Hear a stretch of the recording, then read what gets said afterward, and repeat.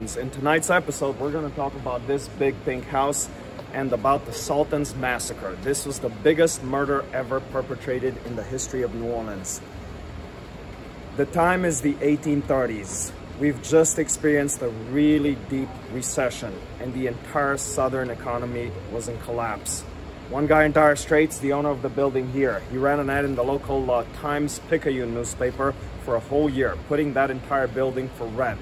Well, good luck with that, buddy, because uh, there is no money in Orleans in those days. He's about to commit suicide about a year into it, when at the last minute he gets saved, when this very flamboyant, mysterious stranger shows up at his doorstep. He asks to see the house, and the owner, believing that this guy was a lunatic, only showed him the living room and just for a few minutes, wanting to get rid of the guy as quickly as possible. He quoted him a price that was about three times what he really had in his mind. By the way, I said uh, flamboyant stranger because this mysterious uh, guy who uh, wanted to see the house had a humongous turban on his head. All these uh, beads, feathers, and flowers on that turban. All these silky robes in very, very bright, uh, shiny colors with more beads and flowers on them. Even for New Orleans during Mardi Gras, he looked like a lunatic, but it was not even Mardi Gras. So the owner quoted him a price uh, a lot higher than what he really had in his mind, upon which the mysterious stranger very quietly opens his man purse and puts cold hard cash on the table in front of the owner's eyes. What just happened? The owner cannot believe uh, his luck.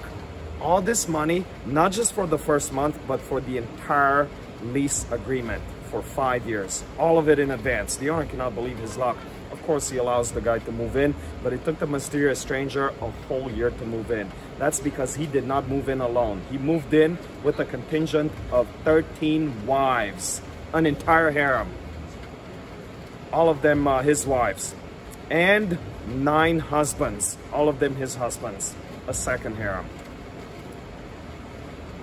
As soon as everybody moved in, course, the party started. And by parties, I mean they would start at about 5 o'clock in the evening and would only end about 7 o'clock or 8 o'clock the next morning, every single day, day after day after day. The neighbors started moving out because of all the noise, because of all the ruckus here, because of all the drunks shuffling out of the house and puking on our sidewalks. And by the way, not much has changed in New Orleans since then, but we're not gonna get into that tonight. Anyway, this uh, area here became sort of uh, semi-deserted. And uh, as soon as the new tenant moved in, he started bragging to the entire city, I am the big Turkish Sultan, the Sultan of the Ottoman Empire and these parties uh, at these parties he would invite all the uh, elites in the city. There were rumors about all the orgies going on day and night in that house. One important thing to mention is that the sultan also placed about 10 soldiers around the perimeter of his house standing there 24 7 as guards with big scimitars swords and shields. So anyone could say he was a little paranoid about his security. Well these parties went on uninterrupted for close to three years, but three years later it all came to a sudden end when one fine morning at about uh, 5 o'clock in the morning, one of the neighbors was walking her dog on that sidewalk where the house is. She was coming this way. When she got to the beginning of the block, she realized that there was this eerie, unsettling silence. There were no drunks in front of the house. The soldiers were gone. The music was uh, out dead quiet. Intrigued, she continues walking. She gets to the front steps. By the front steps, she realizes that there's this uh, thick, gooey blood cascading down those steps. She goes very quickly. She alerts the cops. They get here very, very quickly. They bust inside the house. And inside all three floors, they find the same thick, gooey blood on every single floor. It was like that because that blood had human remains in it. By that I mean half of a leg here, a quarter of an arm there, severed heads, even eyes taken outside of their orbits, disembodied hearts and livers and kidneys and brains scattered on all the sofas and countertops. It took the cops an entire day just to do a simple head count of the severed heads and they came up with a number of 37. 37 people butchered up into small pieces like this and one we believe it was less than one hour.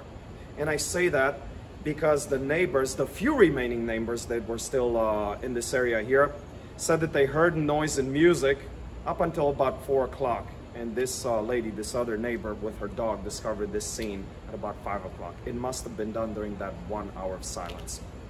Well, the official version from uh, back then and even from today, from everybody, from the cops, from the morgue, from the hospital, from uh, the Times-Picayune newspaper, from the other local newspapers, from the city of New Orleans, from the mayor, from the governor of Louisiana. The official version from everybody has been that this was done by pirates. We did have a lot of piracy back then. We are a port city, so of course, naturally, pirates used to come from the harbor to loot people's homes, to get drunk in our bars. But in this case, it doesn't quite fit their profile. Now, guys, make no mistake, if a pirate came inside your house to loot it in those days here in New Orleans, yes. If you stood in there wait to loot it, of course, they would kill you, but the way they did it was maybe with a sword through your stomach or a bullet through your brains, and once you drop dead, they would take that precious little time to uh, steal as much as possible and get out as quickly as possible. In this case, it doesn't quite fit their profile because also whoever did this did not steal a single thing from the house. This smells to me more like a revenge crime.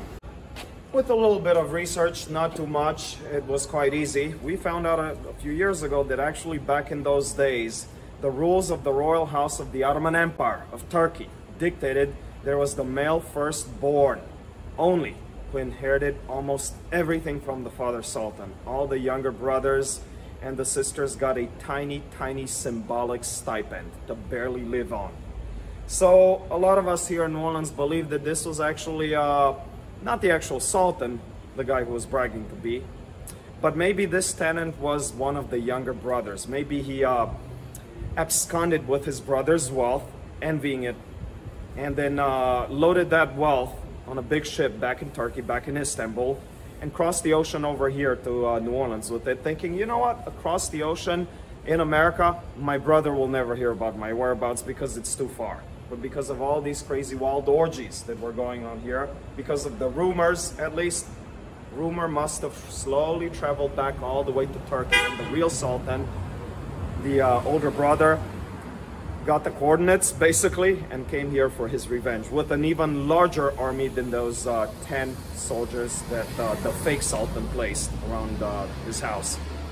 It's just an just an opinion, just a specul just some speculation here. But uh, the sultan was found actually in his courtyard. Two days later, when they found just the fingertips, just the very top of the fingertips of some person they dug up this person. It was the Sultan. He had been buried alive in that courtyard. And we know this because he had a lot of dirt in his esophagus and lungs, a sign of being buried alive.